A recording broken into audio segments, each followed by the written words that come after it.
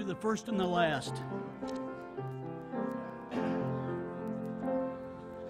On Jordan's stormy banks I stand and cast a wishful eye to Canaan's fair and happy land where my possessions lie. I am bound for the promised land. I the promised land. Oh, who will come and go with me? I am bound for the promised land. On the last. When shall I reach that happy place and be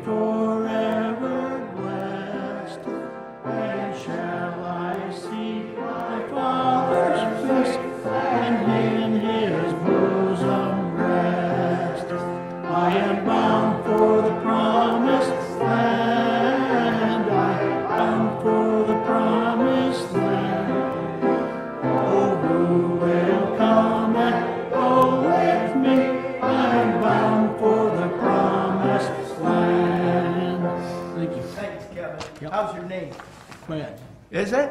Pray for Kevin's name you're praying for, but you might just make an extra effort, would you please?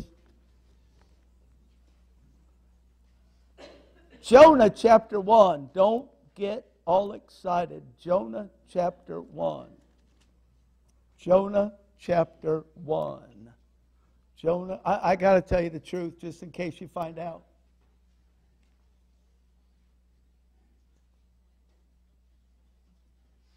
There's some things preachers aren't supposed to tell you. We're supposed to tell you that we work hard and that our wives don't write our messages, but mine writes some of them. She didn't write it, write it, but she'll go, You ought to preach on her, and she'll. But she is a good pastor, so I listen to what she says because her pastor sounds pretty smart.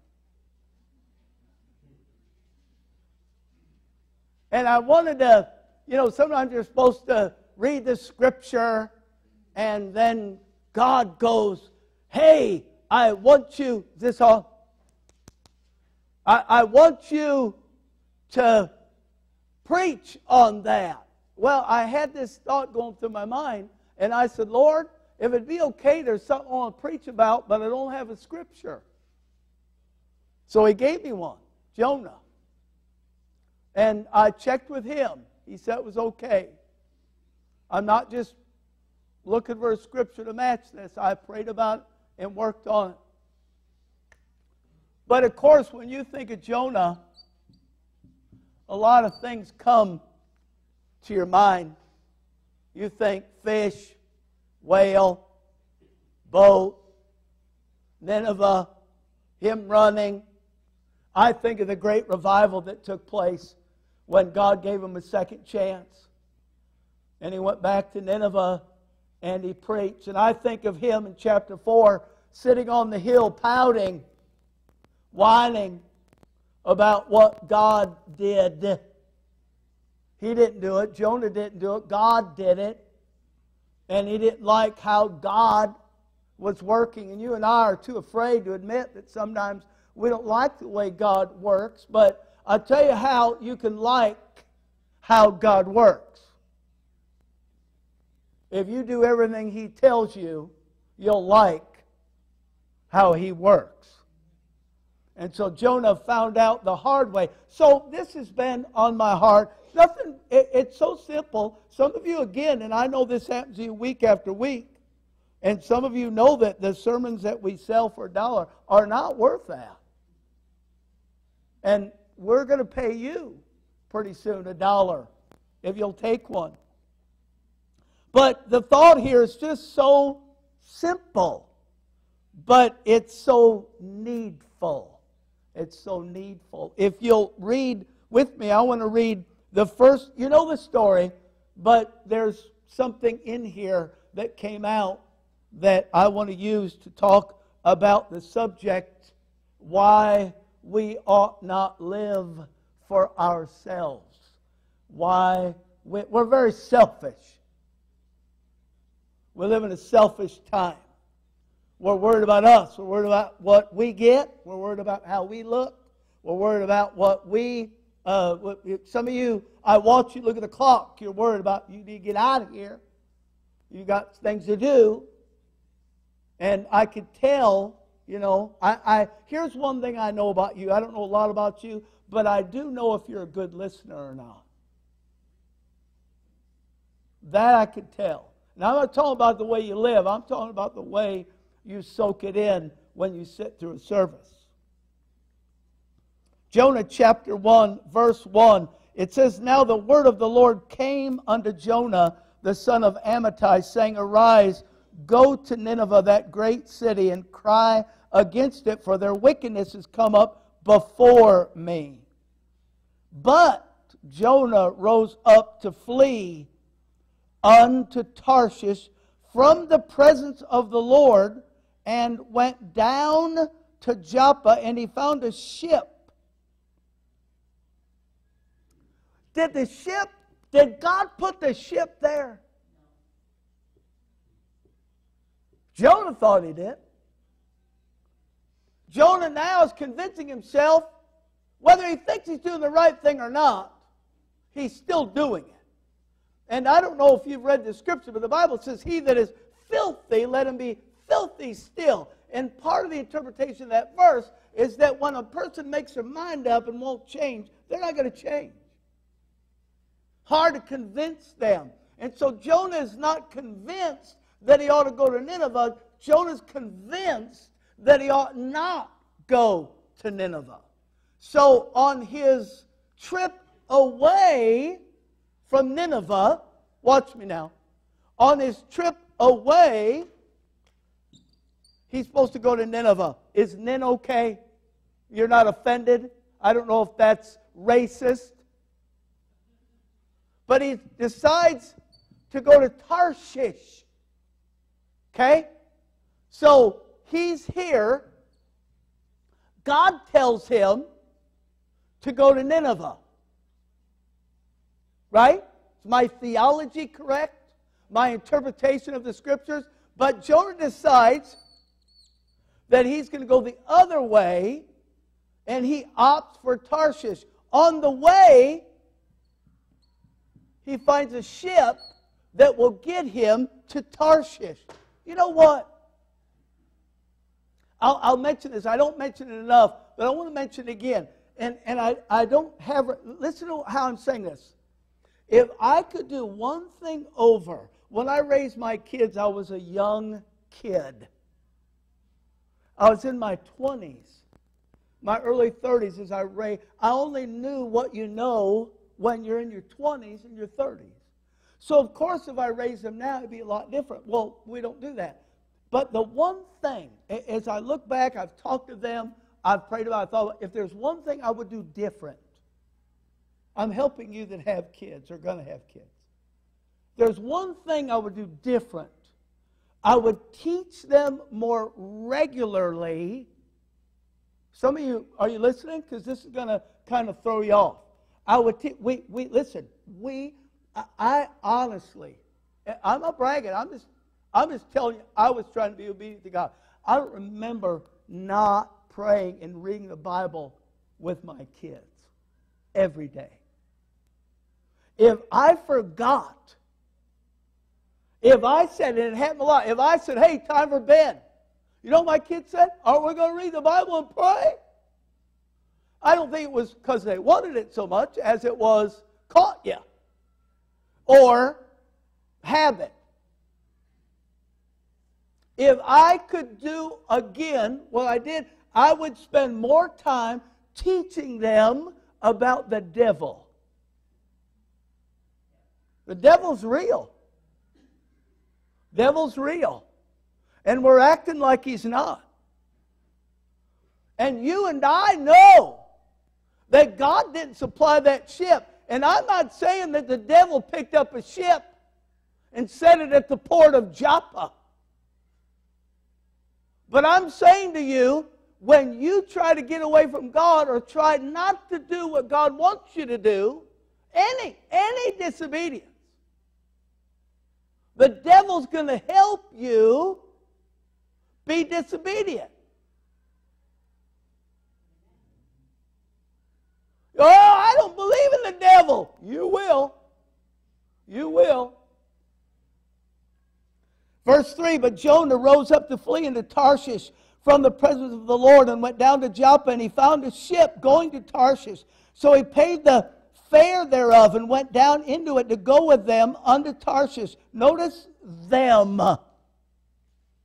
Okay, I have a I have a point here. Notice verse 3, them. You say, well, what, what them? Notice them. He wasn't alone. He said that he paid the fare thereof and went down into it to go with them under Tarshish from the presence of the Lord. Verse 4 But the Lord. Aren't you glad that God's a good father? I mean, what kind of story would this be if God let Jonah get away with what he wanted to do? What kind of story would it be if it said Jonah got in a ship, went to Tarshish, and there lived for the devil? It says when he got on that ship, he found a ship, he's thinking, wow. He asked the guy, Where are you going? The guy said, Tarshish. Jonah said, Me too. The guy said, Well, here's how much it costs. Jonah said, I got money. I'll pay. He paid. He got on the ship, but he wasn't alone. It says he went with them. Verse 4 But the Lord, does the Lord know everything you do? Does he like it when you don't do the right thing? No. Does he still know it? He doesn't turn away when you do the wrong thing. He doesn't go, I'm not going to look. Verse 4 But the Lord sent out a great wind into the sea, and there was a mighty tempest in the sea, so that the ship was like to be broken. Then the mariners, plural, mariners were afraid, and cried every man unto his God, and cast forth the wares that were in the ship into the sea to lighten it of them. They didn't know what to do. They're trying to save their own necks. They're trying to make this thing not sink. And so they're scared to death. They're praying. They don't know who to pray to. They're just praying to anyone, anything. Verse 5 says, But Jonah in the middle, but Jonah was gone down into the sides of the ship, and he lay and was fast asleep. You know what I have written in my Bible there next to that, but Jonah? I have senseless. Meaning, when you get away from God, you become senseless. You do things you never thought you'd do. You know why I know that's true? Because I've done it. You know why I know that's true? Because I talk to people all the time who've done that. I go, Why'd you do that? They'll go, I don't know. I go, That's not an answer. When you did this, you, you shouldn't have done that. No, you shouldn't have done it. Why'd you do it? All the time. Well, why? I don't know. Well, you don't know. Why don't you walk out into traffic then? Why don't you put a sleeping bag on the railroad tracks? Well, I'd be killed. Well, sin, the Bible says, will kill you. It isn't that we don't know that, it's that we become senseless to it. Once you get away from God, you lose hearing Him. You lose His guidance, His protection. So it says there that while they're dying, correct? While they're dying, the guys on the ship, Jonah's sleeping. That's incredible. He's thinking, I didn't know there's no storm. That's because he's, he's in denial. He's probably depressed. He's getting away, he, he got away from God and he's hiding. Verse 6 So the shipmaster came to him and said unto him, What meanest thou, O sleeper? Arise, call upon thy God. If so be, watch now, if so be that God will think upon us that we perish not. Is Jonah alone on the ship? No. Verse 7 They said, Every one, every one to his fellow, Come, let us cast lots that we may know for whose cause this evil is upon us. So they cast lots. They, they cast lots, and the lot fell upon Jonah. Verse 8. Then said they unto him, Tell us, we pray thee, for whose cause this evil is upon us. What is thine occupation? Whence comest thou? What is thy country? And of what people art thou? And he said, verse 9, unto them, I am a Hebrew, and I fear the Lord, the God of heaven. See, Jonah thought he was all alone. You know what's really crazy? Have you ever heard someone say, Maybe you said it to your kids. Maybe you said it to a good friend. Maybe you said to them, you know, you got to be careful when you make these kind of decisions. You know, you got to be careful what you choose. Have you ever heard someone say, hey, it's my decision, it's nobody else's business? I got news for you. It's everybody's business. It's everybody you touch and affect. And, and listen to me, this is one of my points, and I don't want to give it away. But your life affects people you don't know.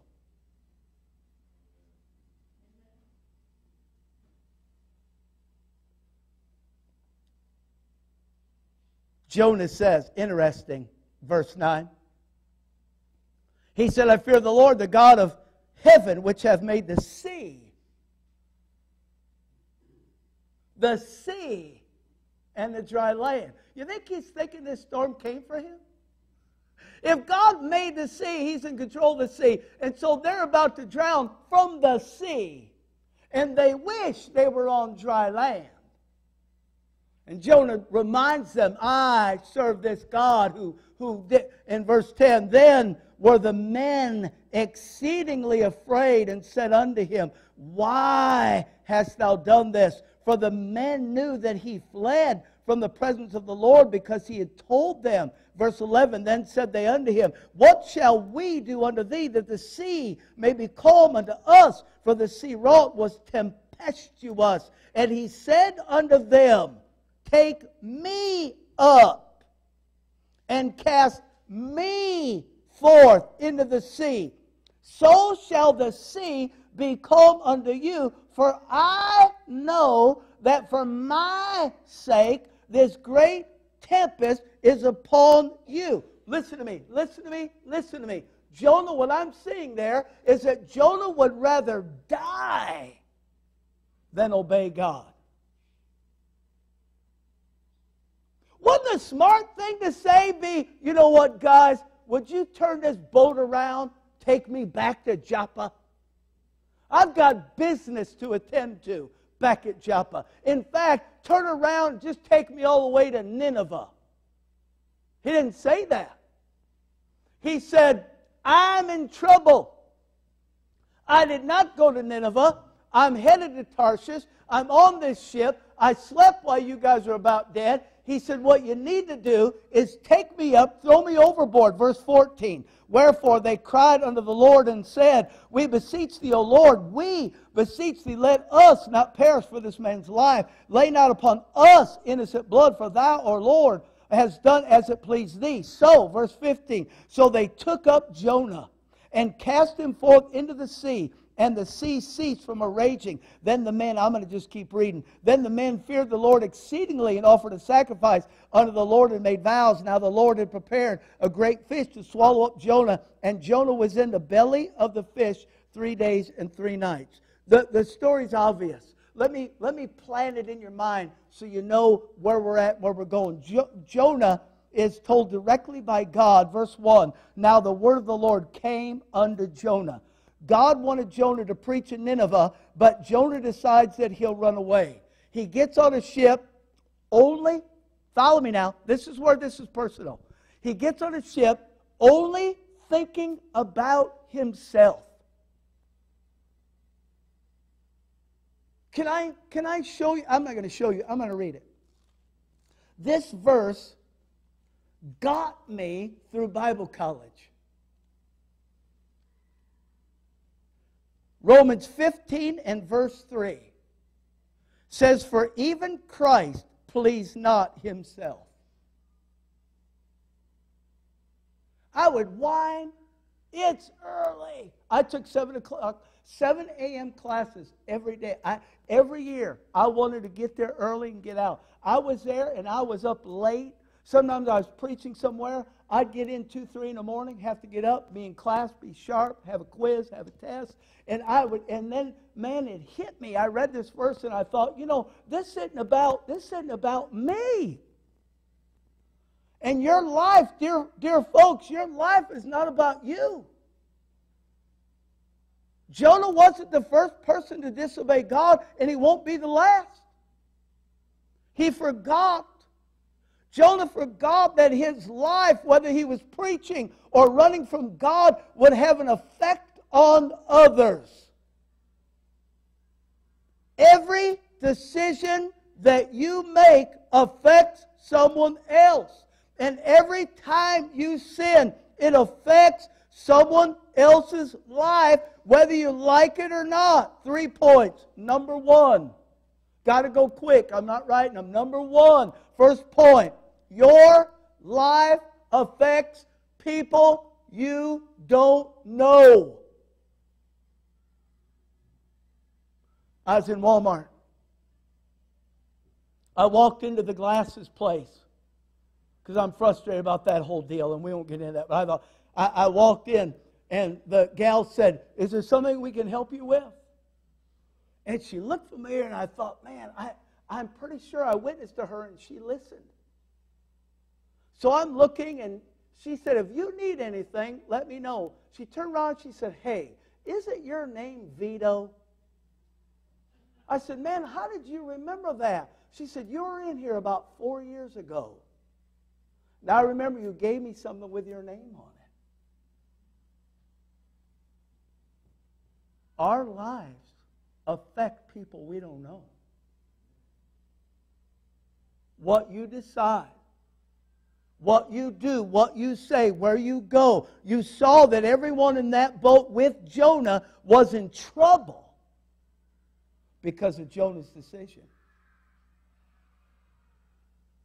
He refused Jonah refused to go to Nineveh, and that showed that he didn't care if they went to hell or not. People could tell.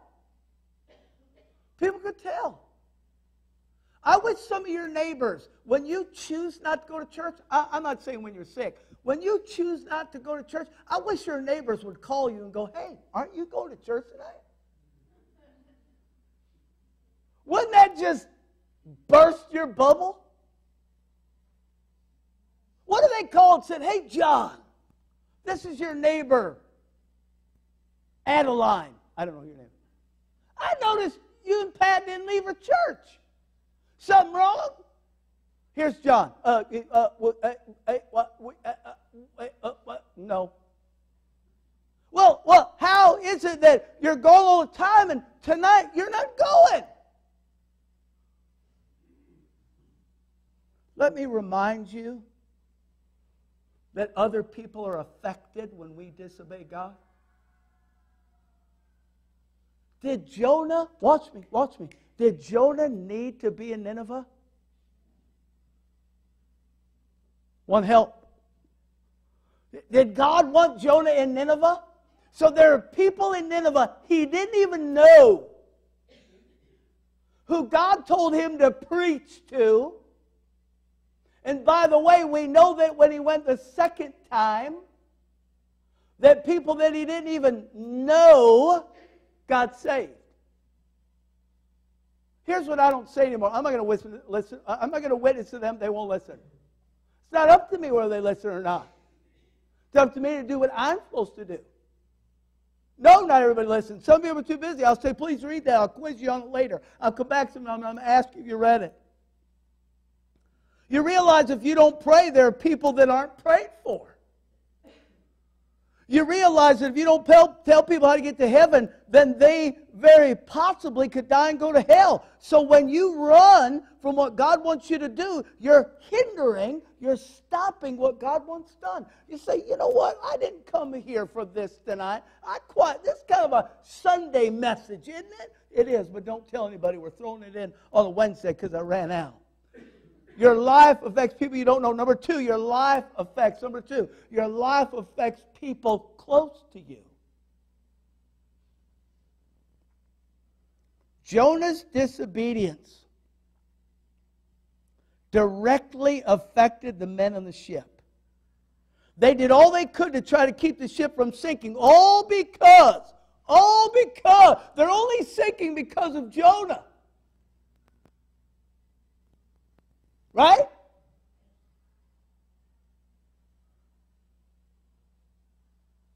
They're in their predicament because of what Jonah decided. When a person drinks alcohol or does drugs, they're touching, they're affecting the lives of others. And our example of being disobedient to God and failing to really seek God affects those that look to us for an example.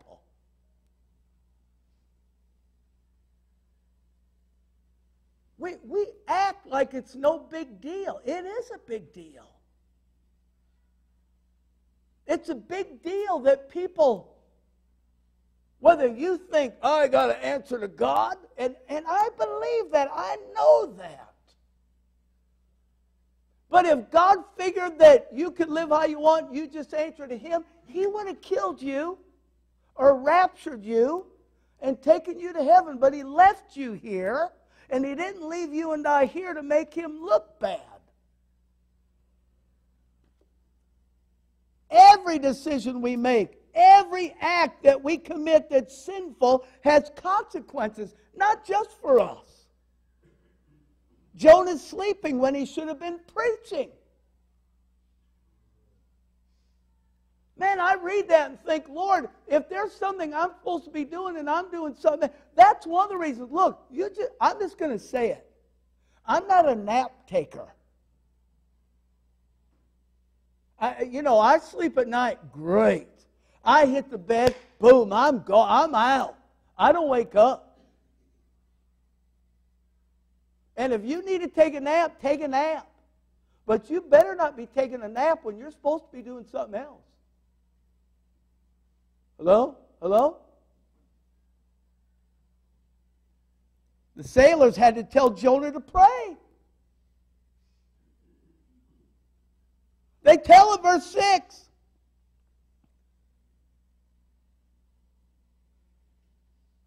Call, arise, get up, call upon your God. Jonah was hurting the people of Nineveh and the men on the boat, and he didn't even care. Your life affects people you don't know. Your life affects number two, people close to you. Number three is the, is the answer. See the problem and do the right thing. Jonah admits his sin, doesn't he? Huh? Let's talk through this and we'll stop. He admits his sin. He chose punishment. Throw me overboard. I wonder if he thought he could swim back to shore. He never saw. He never said, "Throw me in. God will swallow me." He didn't see all that. All he saw was just, "I've done the wrong thing." Maybe we don't know, but maybe he thought, "God just needs to kill me. I just need to drown maybe I can swim back. I don't know what he's thinking, but I do know that he should have asked the man to help him. He should have repented for the sake of all those men in the boat. Correct? Hey, let me talk to you personally for a minute. When you have kids and your kids break your heart and they don't repent, it has an effect on you.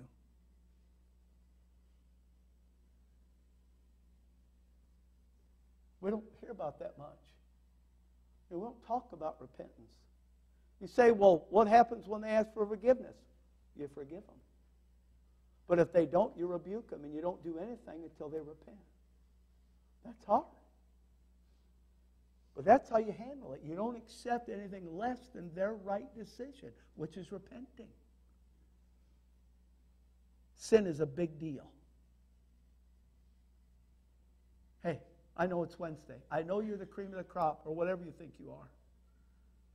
The cherry on top. Maybe you're the whipped cream. I'd rather be the hot fudge. Whatever you think you are. Sin is a big deal. It has to be dealt with, it has to be corrected. You don't just get over it. People are affected. If I was God, I would have forced Jonah to do the right thing. You know what God did? He made it hard for him to do the wrong thing. That's how God always works. swim or not. I don't know what Jonah was doing. I don't know if he's treading. I don't know if he's swimming. No matter what he did, God sent a fish to grab him. And inside that fish, Jonah realizes that his life wasn't worth living without God on his side. God loves us. He loves us so much that he doesn't want us to hurt ourselves. I want God's blessing, don't you? I, want God to bless me. And sometimes it's hard to live for him. Sometimes it's hard to, to keep going. But God has such of a great desire to bless us that He can't do that. He can't bless us if we run away from what He asks us to do. If God blesses you when you run away, follow me and I'm through. If God blesses you when you run away, He looks bad. When you run away from God, knowing that He can bless you, you look bad. God will always, hey, hey, here's the good part. God will always give us another chance to do the right thing. Look at me, look at me. I wouldn't have given Jonah, if I was God, and that could happen someday. If I was God, I wouldn't have given him another chance. One strike, you're out. What God do? Squeezed him, put his thumb on him. Jonah cried, Uncle God, okay, Uncle God. God had the fish spit him out. God said, All right, let's try this again. The people in Nineveh are still lost. The people in Nineveh still have not heard the gospel. The people in Nineveh still need you there. What Jonah say? I'm on my way. You know why God gives you another chance to do the right thing? Because that's how He wants people to see Him. He's a God of the second chance.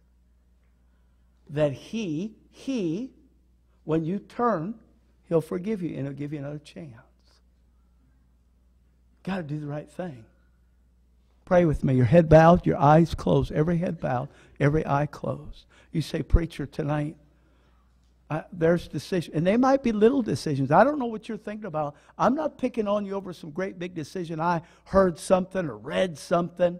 I'm just talking about little stuff that adds up and gets us away from God. And it's time that we just say, man, when God tells me to do something, I need to do it.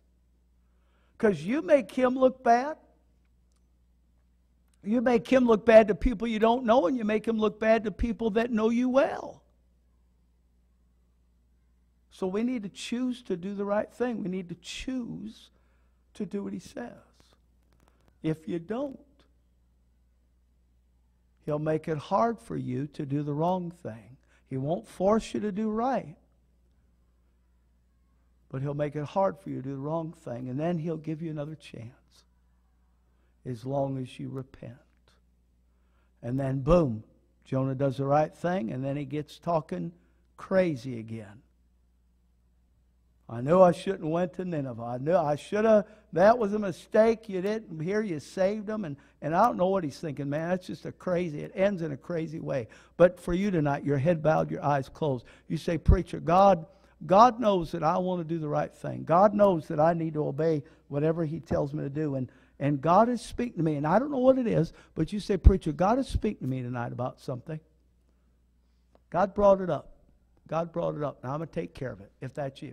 Here's my hand, preacher. God is speaking to me. That's you. Put it up high, up and down. Preacher, God's speaking to me tonight. God's speaking to me. Anybody else? Here's my hand. Preacher, God, I, I, I'm thankful for a second chance. I see him up and down. I'm thankful, preacher, for a second chance. You know what? He'll give it, but don't just assume he will and you don't deserve it. You need to take the first chance. Do what God says. Take the first chance. Do what God says. Dear Lord, help us to be very careful very, very careful about obeying you. Help us, Lord. Please help us. Help us to see sin is a big deal. Use us, Lord. Help us to do what you say. I pray this. In Jesus' name, amen.